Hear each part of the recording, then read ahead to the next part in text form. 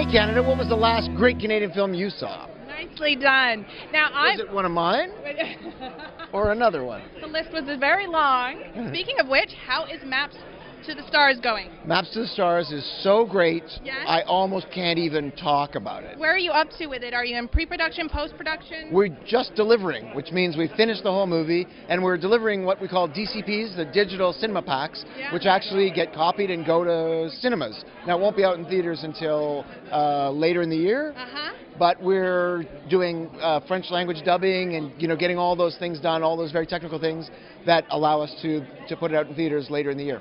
I'm so excited about it. I'm really excited about it. Tell me about the experience of this year putting the awards. Last year you had to put yourself on the map. Now this year it seems to have ballooned. Tell me about that.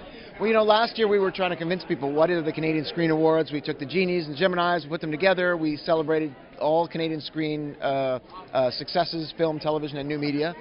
And uh, people said, is that going to work? How's that going to work? And now here we are, the second year, people are going, wow, that really worked well. I can't wait for this year. So we are, every event from Canadian Screen Week was sold out. Nice. Yet You cannot buy a seat in this house. It's 1,405 seats, uh, tickets sold for this event. You can't get in here. Uh, it's been an outrageous uh, success so far, and the night hasn't started yet. Bigger and better.